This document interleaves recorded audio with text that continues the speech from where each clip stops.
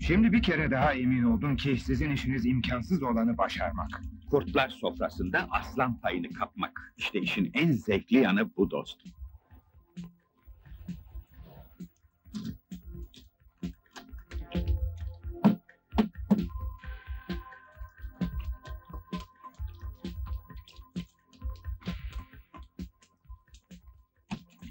Sadece işiniz için yaşıyorsunuz. Başarınızın sebebi bu herhalde.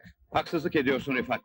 Evet, işim çok önemli. Ama şu bizim deli oğlan. Varım yoğum o benim. Hem seviyorum hem kızıyorum. Başımın belası. Ona abilikten çok babalık ettim. Avrupalarda okuttum. Ama sonunda hergelenin bana attığı kazığa bak. Şimdi de siz haksızlık ediyorsunuz doğrusu. Merhaba kızım. Günaydın. Bora Bey sizi mahcup etmiş sayılmaz ki.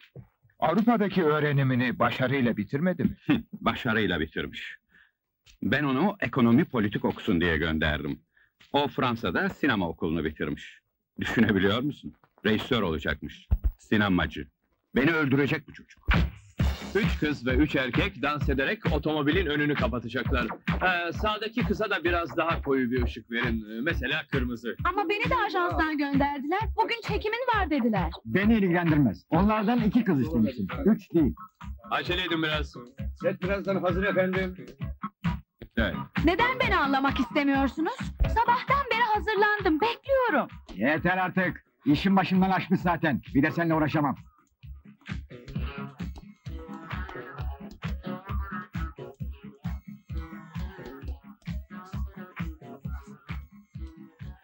Bir dakika bekler misiniz küçük hanım?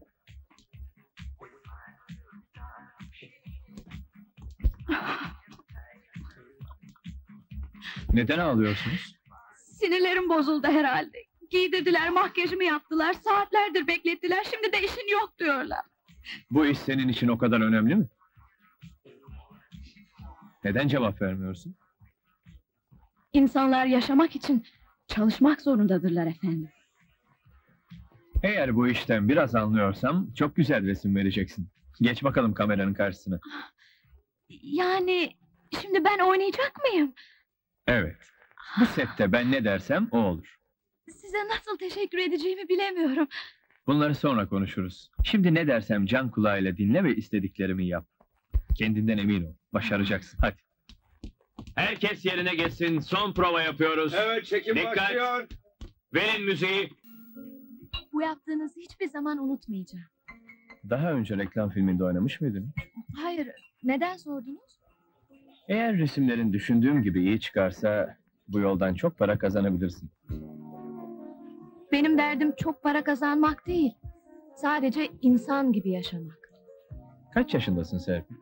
Bu soruyu hayatının kaç yılını mutlu geçirdin diye sorarsanız daha doğru yanıt alırsınız. Peki. O zaman öyle sormuş olayım. Hayatımdaki mutlu günleri toplarsam daha yeni doğmuş bir bebek sayılır. Demek acıyla yoğrulmuş bir yaşam, güzel ama mutsuz bir genç kız. Kimsin sen Serpil? Nereden gelip nereye gidiyorsun? Ne iş yapıyorsun? Hayatımın hiç de öyle esrarengiz bir yanı yok. Küçük yaşta annemle babamı kaybetmişim. Sonra Kıbrıs'ta uzak bir akrabamın yanında itile kakıla büyüdüm. Beni öylesine ezdiler ki. Hayattan nefret etmeyi orada öğrendim. Peki sonra? Sonrası daha da basit. Genç bir kız olunca onların yanından kaçarcasına ayrıldım. İstanbul'a, bu acımasız şehre büyük umutlarla geldim. Hikayenin sonunu çok merak ediyorum. Merak edilecek hiçbir yanı yok. Parasızlık, sefalet. Sesim güzeldi, küçük bir gazinoda şarkı söylemeye başladım. Bu hikayenin sonunda genç kızlar ya bir az solist olurlar ya da Ya da pavyona düşerler, orospu olurlar değil mi? Demek ki benim hikayem daha sonuçlanmadı. Çünkü ne az solist oldum ne de sokak kadını.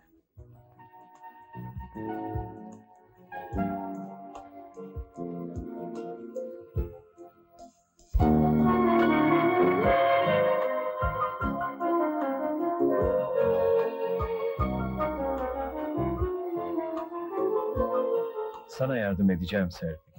Birlikte güzel işler başaracağız. Size inanıyorum.